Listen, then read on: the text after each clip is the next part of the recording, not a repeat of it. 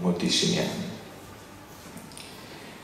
Del fiume scintilla curva la pelle, come cornice, dondola molle, legno di barche a riva cubate.